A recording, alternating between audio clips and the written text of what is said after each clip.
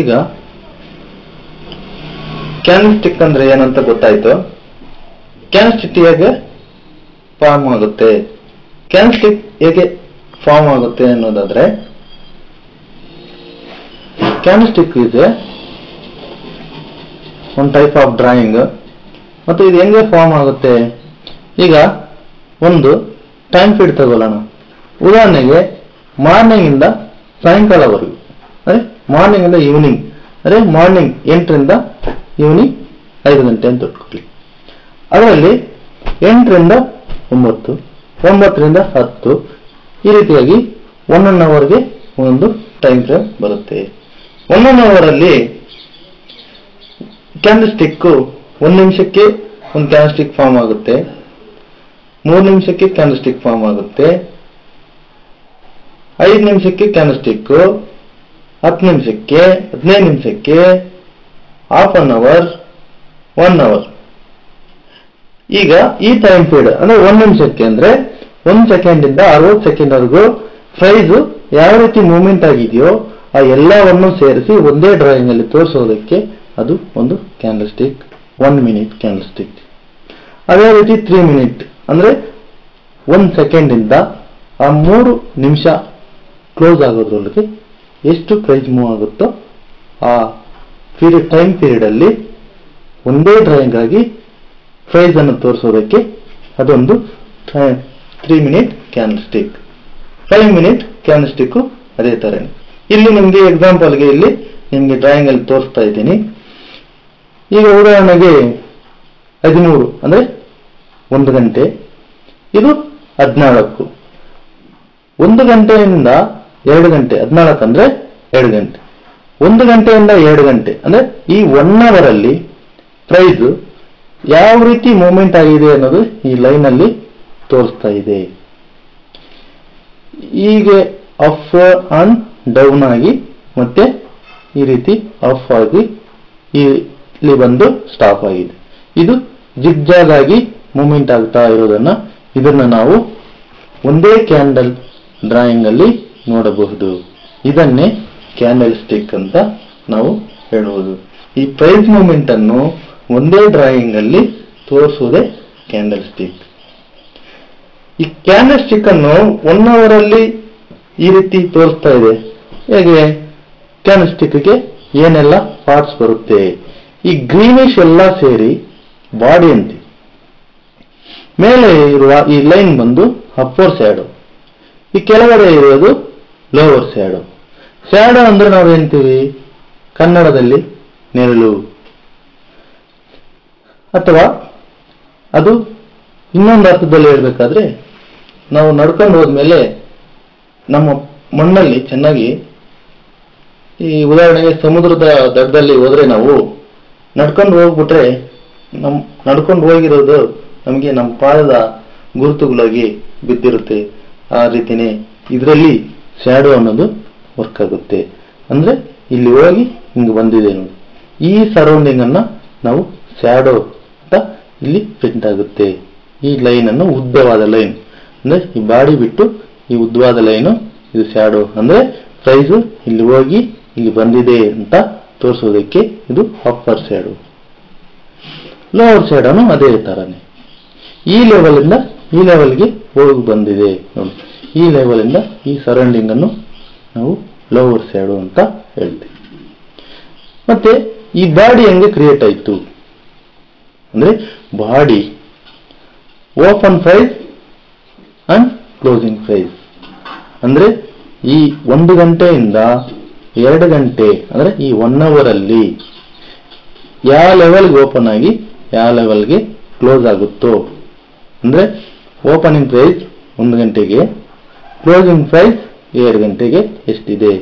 ಈ ಮಧ್ಯದಲ್ಲಿ ಇಷ್ಟೆಲ್ಲ ಇದೆಯೋ ಇದನ್ನೇ ಬಾಡಿಯಾಗಿ ಕ್ರಿಯೇಟ್ ಮಾಡುತ್ತೆ.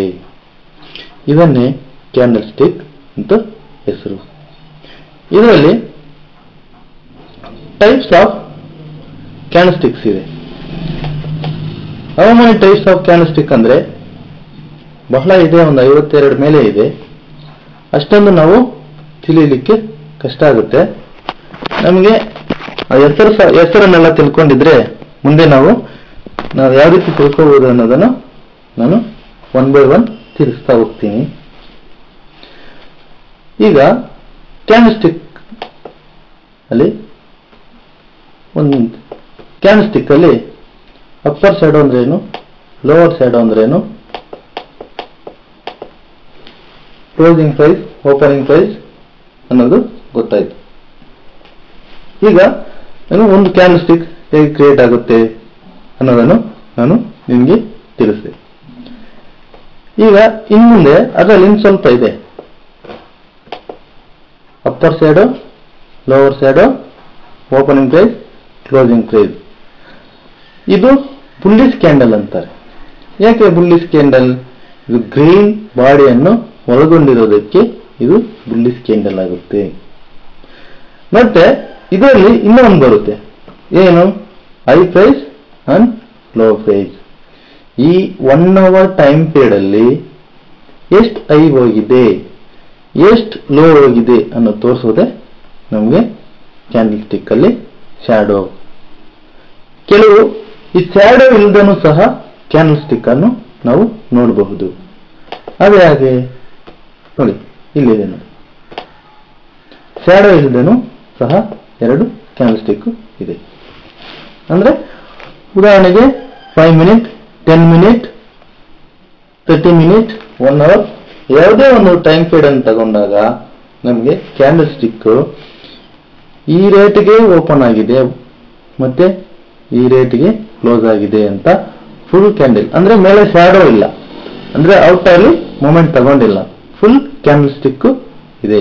ಇದು ಬಾಡಿ.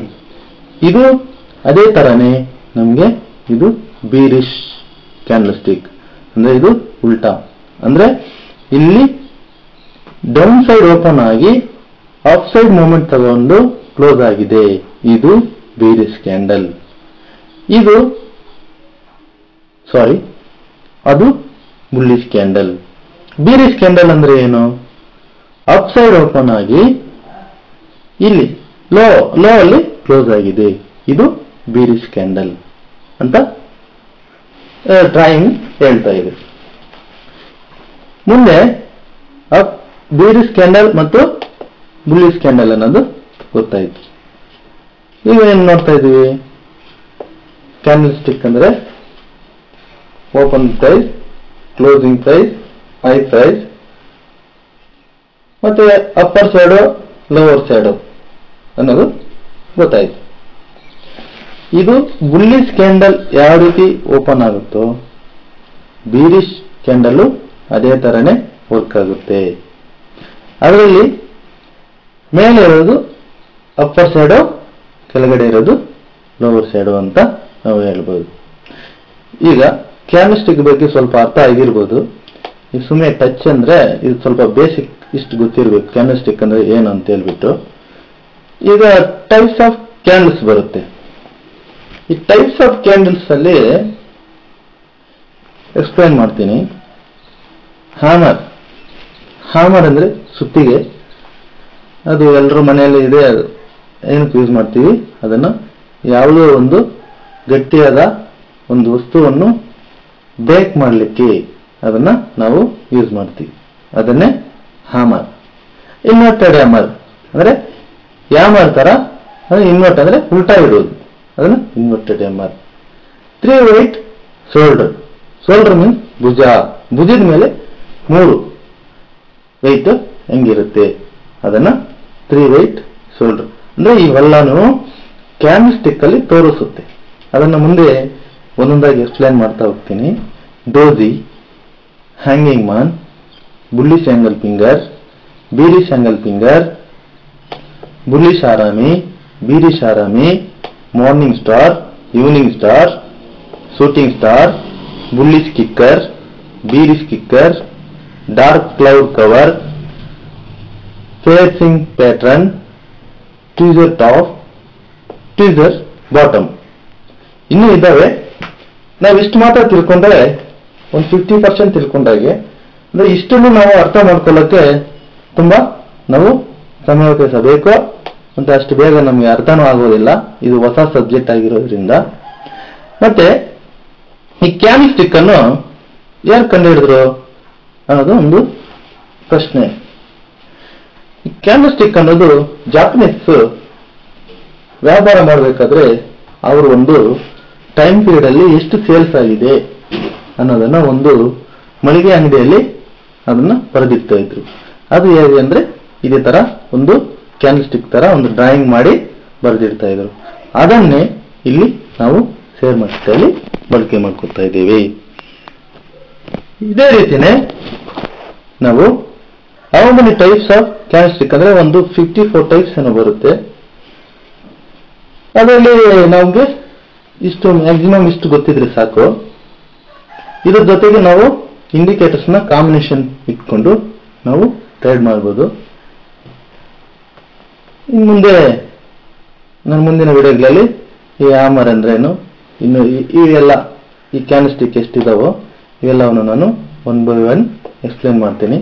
ಅವಾಗ ಡೀಫಾಲ್ಟ್ ಒಂದೊಂದಾಗಿ ಎಕ್ಸ್ಪ್ಲೈನ್ ಮಾಡ್ತಾ ಹೋದ್ರೆ ಸಬ್ಜೆಕ್ಟ್ ಕ್ಲಿಯರ್ ಆಗೋದ್ರೊಳಗಡೆ ನಿಮಗೆ ಈ ಕ್ಯಾನ್ ಸ್ಟಿಕ್ ಅಂದ್ರೆ ಏನು ಅನ್ನೋದು ಸಂಪೂರ್ಣವಾಗಿ ಅರ್ಥ ಆಗುತ್ತೆ. ಥ್ಯಾಂಕ್ ಯು ಫಾರ್ ವಾಚಿಂಗ್ ನಿಮಗೆ ಇಷ್ಟವಾದರೆ ನಮ್ಮ ಚಾನಲನ್ನು ಲೈಕ್ ಮಾಡಿ, ಸಬ್ಸ್ಕ್ರೈಬ್ ಮಾಡಿ ಮತ್ತೊಬ್ಬರಿಗೆ ಶೇರ್ ಮಾಡಿ, ಮತ್ತು ನಿಮ್ಮ ಡೌಟ್ಸ್ ಏನಿದ್ರು ನಮ್ಮ ಚಾನಲ್ಗೆ ತಿಳಿಸಿ, ಪ್ರಶ್ನೆ ಕೇಳಿ, ನಾವು ಆನ್ಸರ್ ಮಾಡ್ತೀವಿ. ನಾವು ನೀವು ಕಮ್ಯುನಿಕೇಟ್ ಮಾಡೋಣ. ಯಾವುದೇ ನಿಮ್ಮ ಡೌಟ್ಸ್ ಅನ್ನು ನಮ್ಮ ಕಮೆಂಟ್ ಮುಖಾಂತರ ತಿಳಿಸಿದ್ರೆ ನಿಮ್ಮ ಡೌಟ್ ಅನ್ನು ನಾವು ಕ್ಲಿಯರ್ ಮಾಡ್ತೀವಿ. Thank you for watching